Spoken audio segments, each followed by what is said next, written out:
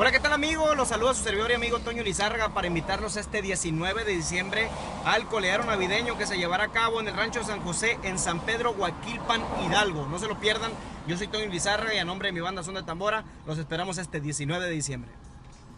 La segunda competencia fue protagonizada por tres grandes equipos, abriendo nada menos que Villa de Guadalupe, provenientes del estado de Tabasco, donde capitaneados por Diego Mayans, abren con la cara de caballo del propio capitán, que a la base de 20 deja 18 metros en tres tiempos para acumular 14 de la punta. Aquí vemos con el ángulo desde el partidero cómo se acomoda perfectamente esta excelente cabalgadura de Diego para llevarse 14 de la punta. Dos de cada uno de los lados, uno de cada uno de los medios para llegar a 40 y con tres de infracción quedarse en 37 muy buenos puntos. Carlos Graniel logró pial en su tercera oportunidad, chorreando perfectamente, deteniéndole la carrera a la yegua chiapaneca para acumular así 20 puntos. Del coladero sacaron 79, pero el mejor fue sin duda Gerardo Correa, que obtuvo 30. Mientras que aquí vemos cómo abre José Cristian Ibarra con esta redonda derecha de 12 con 2 de distancia para un excelente catorzón, 25 en sus tres oportunidades, mientras que Gerardo Correa es el mejor del equipo luciéndose con esta redonda de buen lado y uno de distancia, 30 en sus tres derribes. Y cerrando tenemos a Diego Rosique con esta media derecha de 10 y uno de distancia para 11 y 24 en sus tres oportunidades. Nos vamos a la jineteada de yegua donde Antonio Caña logra 18 muy buenos puntos para llegar hasta ese momento a 205. Y con cuatro manganas estaban peleando perfectamente los charros de Villa de Guadalupe de la familia Mayans, ya que en las de a pie Carlos Graniel falló la primera, pero en la segunda de sus oportunidades, aunque tuvo dos de infracción, remata de bigotona para 22 muy buenos puntos, mientras que en la segunda cuajada tercera de sus oportunidades, que remata de contrarrodada encontrada, se lleva nada menos que 27 excelentes, bueno, se lleva nada menos que excelentes 27 puntos y con uno de tiempo 50 totales.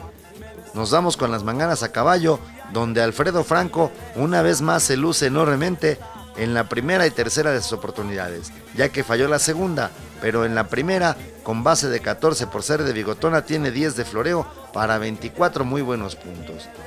Y en la tercera de sus oportunidades, remató de máscara para asegurar, lo cual logra perfectamente para llevarse otros 18 y con uno de tiempo quedar en 43. Sin embargo, llegaban en 298 puntos antes de este paso de la muerte, donde Fernando Licona sabía que tenía que hacerlo, sin embargo, se le sale del arreo y con ello se quedaron fuera al colocarse en el quinto lugar del torneo La Charrería nos une.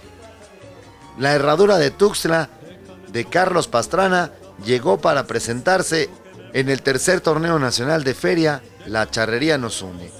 Tuxtla 2015, donde Emiliano Pastrana inició con la cala de caballo, en la cual obtuvo a la base de 20, 14 metros en dos tiempos para llevarse 11 de la punta, dos de cada uno de los lados y uno de un medio para 36 muy buenos puntos, pero tuvo 6 de infracción y con ello se tuvo que conformar con 30 unidades. No hubo suerte en los piales, pero del coleadero el propio Emiliano Pastrana logra esta redonda contraria en su segunda oportunidad, aunque tuvo varios de infracción.